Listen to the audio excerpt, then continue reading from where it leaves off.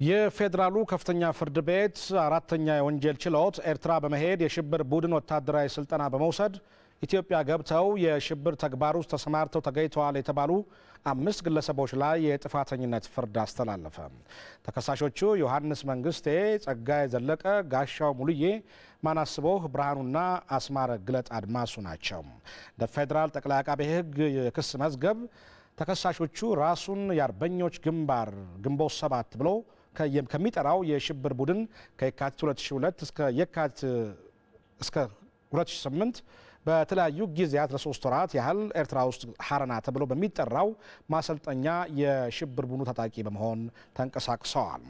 ተከሳሾቹ የፌዴራል ጠቅላይ አቃቤ ሕግ በእነዚህና ተያያዥ የሽብር ወንጀሎች ያቀረባቸውን የወንጀል ክሶች ክደው በመከራከራቸው የሰውና የሰነድ ማስረጃ አቅርቦ አስመስክሮባቸዋል።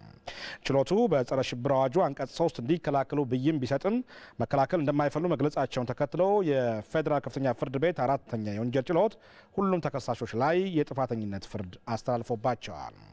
በስድስተኛ ተራ ቁጥር የተጠቀሰው አቶ ጉርባ ወርቁ የአቃቤ ሕግ ምስክር ቢቀርብበትም መከላከያ አቀርባለሁ ብለዋል።